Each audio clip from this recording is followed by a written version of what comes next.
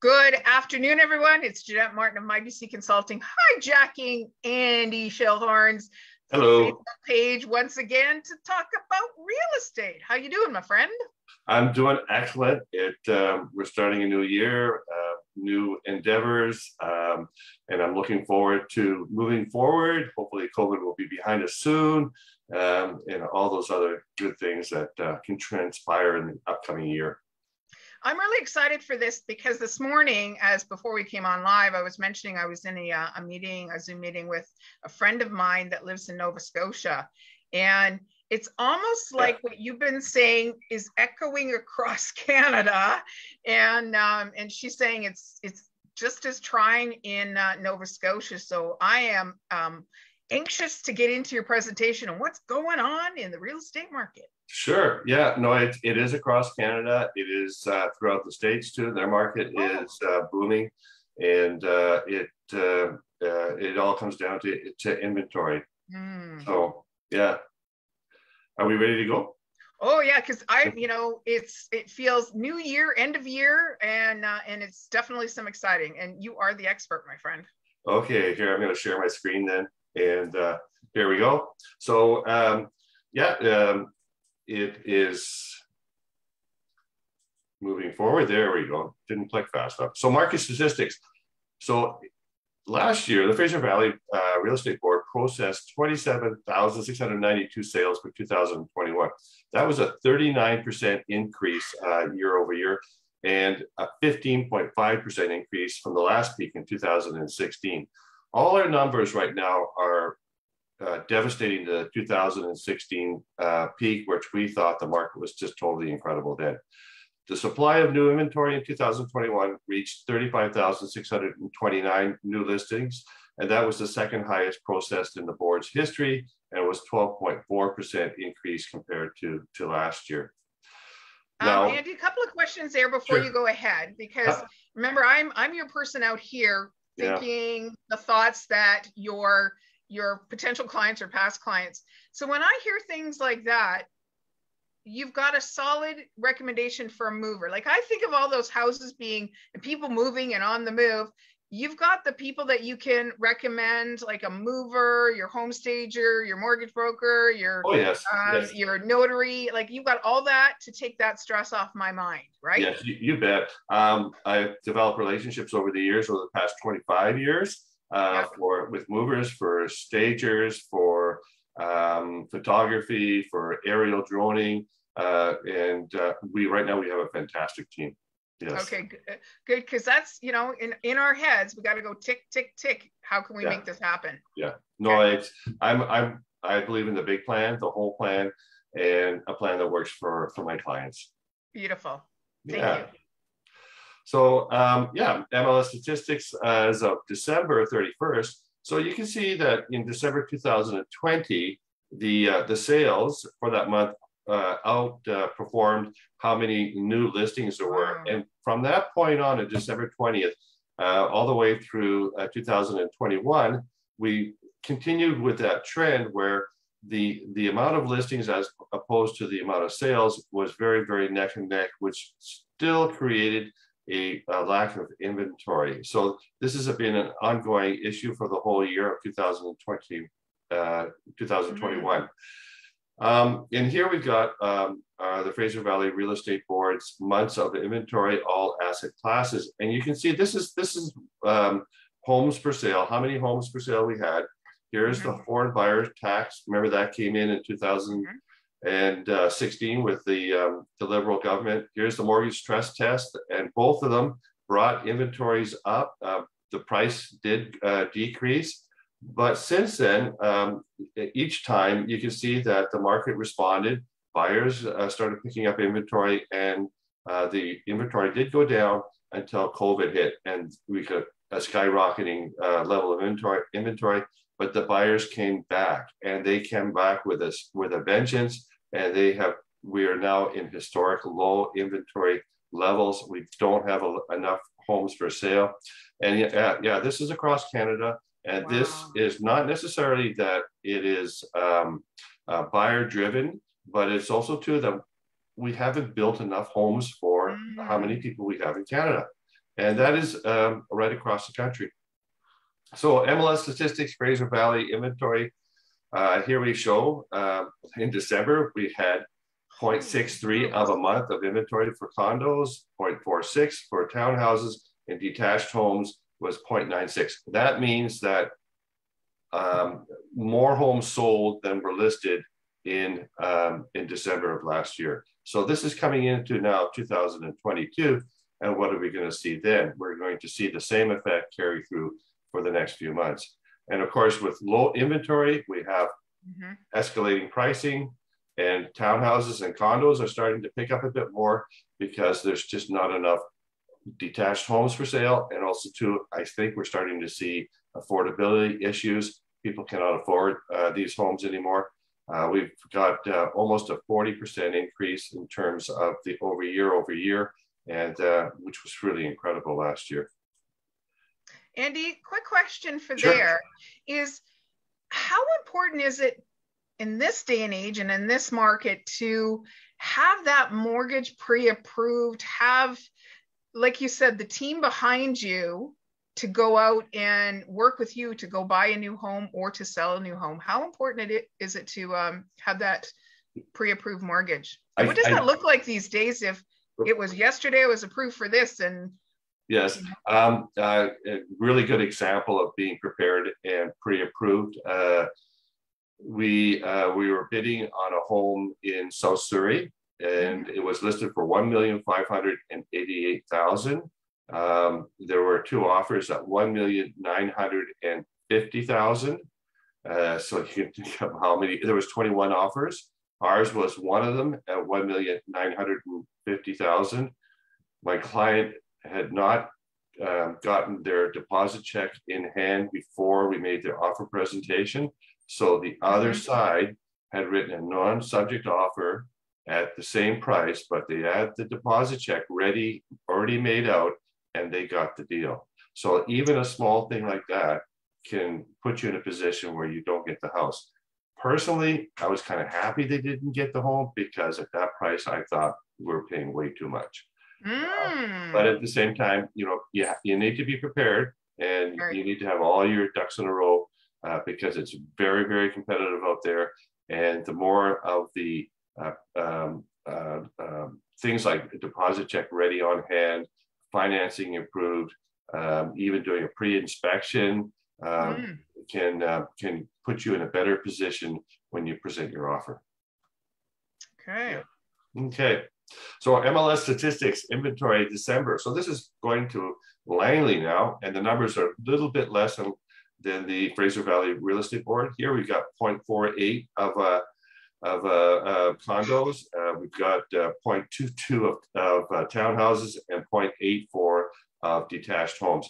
So that means that in the month of December, everything sold and and uh, before the end of the month, and there was nothing left. In fact, uh, Walnut Grove, I think uh, in January, early early January, late December, had four or five homes for sale, and usually they have 30, 40, maybe 50 homes mm-hmm. for sale. Um, Fort Langley, there's nothing for sale right now. No detached homes. You know, if this was a retail store, you'd be going out of business. Yeah, yeah. Without yeah, this kind of stock on hand. You know, they're talking about uh, supply bottlenecks. This is what right. we're experiencing. We have a supply bottleneck. Uh, this is our uh, MLS statistics. So you can see that the uh, HPI, the home price index for Langley was at 1.560. We started the year at 1,136,800. That's, I believe, about a 37% increase over the year. That's incredible. That's that's wow. huge.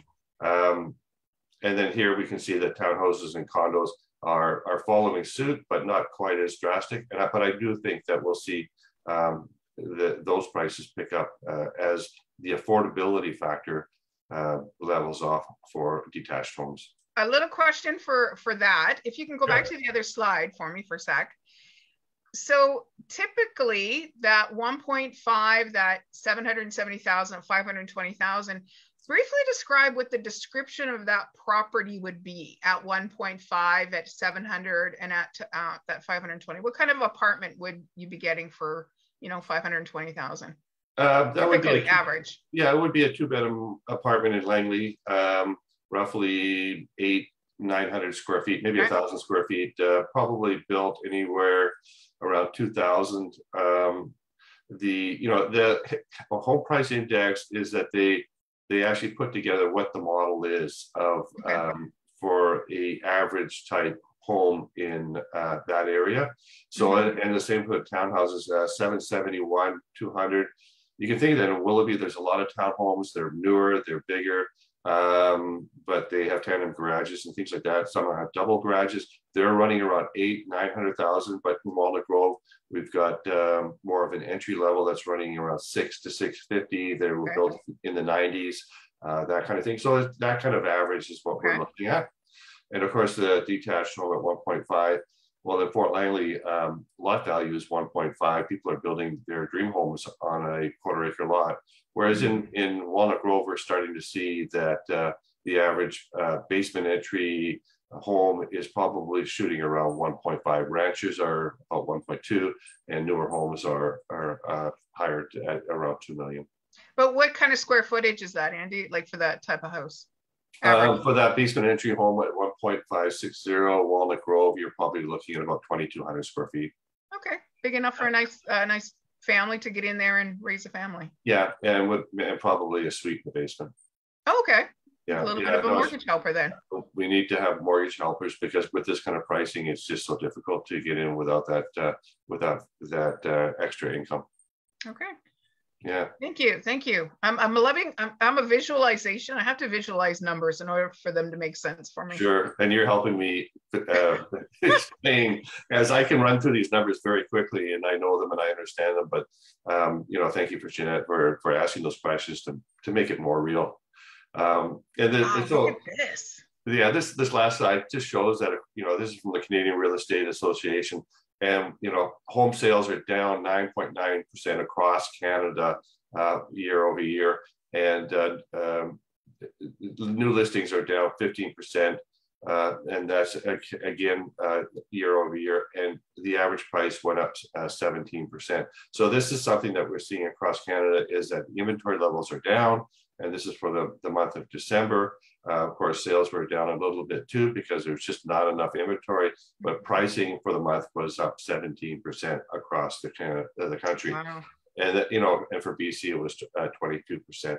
So that that whole thought process where some people go, well, I'm going to sell here and kind of move across the country where it's a little less expensive. It's, yeah, it looks yeah. like it's balancing out, going all the way across Canada. Yeah, yeah, true enough. But you know, like if you um, people are moving into the interior. Yeah, Kelowna prices are starting to take off uh, with Osoyoos and uh, uh, Kamloops and, and, places like that, but they're still priced um, relatively a lot less than uh, being living here in the lower mainland where our pricing is is um, you know at top notch. Mm-hmm. Um, yeah, people have been moving out of the province into Calgary because uh, you know even though their, their pricing is less there. Also, too, I have clients that are looking for Gulf Islands, that kind of thing. Okay. Um, they, they, want to downsize and they're selling in their uh, their detached home here in the lower mainland and uh, and buying a small cottage to to live and retire on. Yeah. Okay. Wow. Fascinating. I, I just I love the numbers. I love the visuals connected to it. Um, uh, is that your last slide? Yes, that that's it. Perfect. Let's uh, let's just yeah. go back to uh, having our, yeah. our beautiful faces on here. It's yeah. it's fascinating to me. I'm a renter, and it gives me some framework to work towards. And I know there's you've got over 1,500 followers on your Facebook page. Um, and there's people out there like me, and they they ask and think the same kind of questions that I think. And what's it going to take for me to get into into the market? And I think that big one that people have to get their head wrapped around is if you do have a big enough home to have that mortgage helper like that's yeah. what you're going to yeah. have to live through if you want a little bit of property a little yeah. bit bigger house that that is the dynamic that a lot of people i'd say maybe five six ten years ago didn't think that they would even consider buying that type of home yes yeah we're seeing you know all the new homes have suites in them even um, in Vancouver, we're starting to see lane housing, that kind of thing, uh, more uh, a little bit more higher densities. We need higher densities. We need to do some infill to to help with our um, inventory issue. It is something that is driving the market, and um, we're not hearing about foreign home buyers anymore. Uh, we're not uh, hearing um, about speculators. I mean, all that kind of stuff. It, it you know was in the news, but they just weren't looking at the issue of inventory, and inventory has been driving the market since the 90s. Uh, historically, there was a, a professor out of uh, Toronto that was talking, saying that if we had 100,000 new units right across Canada right now, we would still have inventory issues. That's how far we've been uh, uh left everything behind in terms of building. Wow. So, my friend, what's going on in Fort Langley? Anything you want to talk about in your community? Anything happening?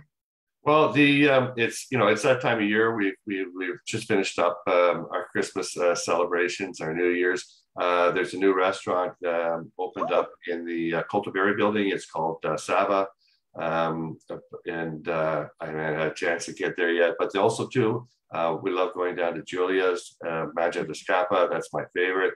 And uh, yeah, no, the stores are open. Everything is going on, um, and we've got a. Well, hopefully, we'll see a lot of great things happen this year in Fort Langley. Perfect. Well, I'll wrap it up with a special thank you to Andy and his wife, Nina. Um, yesterday was my birthday. Yes. And um, I posted out that I was raising some funds and still am for Night Shift Street Ministries. They help street friends serve a hot meal both in Langley as well as in Surrey. And Andy and his beautiful wife um, did a donation yesterday for my birthday. So I appreciate that, my friend. The more that we help out each other, our community, we build the uh, we build a city town township on how uh, we want to live and thrive in. So i want to say a public thank you um, to you and your lovely wife uh, nina. It was it was a yeah it you know to me it's really really important that we give back to our community in uh, many different ways. And i encourage everybody to look around once in a while to think about how they can help their community because i think we're seeing way too much of you know, what can I do for me? And, uh, uh, and we need to change a little bit to what can we do to help ourselves, our families, our friends, our neighbors, because then we uplift everybody and we have a better community for it. You got it. And I think that's yeah. a perfect place to leave this. So until next month, yeah. when we I get to hijack your uh, Facebook page again and yes. talk real estate with you, Andy, have a great weekend. And um, we'll see you again in a yes. Thank you, Jeanette. Take care. All the best Bye-bye. to you. Bye.